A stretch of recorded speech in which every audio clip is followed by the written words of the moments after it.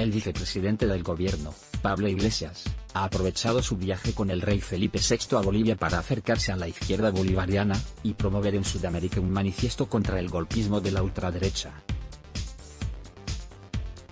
Pablo Iglesias ha firmado la Declaración de la Paz, un manifiesto contra la ultraderecha que también es firmado por José Luis Rodríguez Zapatero, Dilma Rousseff, Evo Morales y Alexis Tsipras entre otros. El texto defiende que el golpismo de la ultraderecha es una amenaza para la paz social en el siglo XXI.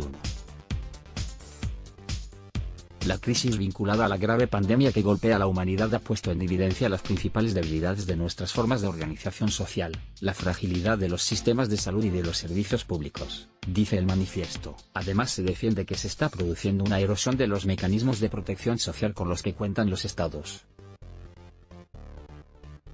Hoy la democracia está amenazada, basta con analizar los acontecimientos políticos de los últimos meses en Bolivia, país anfitrión de esta declaración, para constatar que la principal amenaza a la democracia, y la paz social en el siglo XXI es el golpismo de la ultraderecha, añaden. Se trata de una ultraderecha que se expande a nivel global, que propaga la mentira y la difamación sistemática de los adversarios como instrumentos políticos, apelando a la persecución y la violencia política en distintos países promueve desestabilizaciones y formas antidemocráticas de acceso al poder, se puede leer.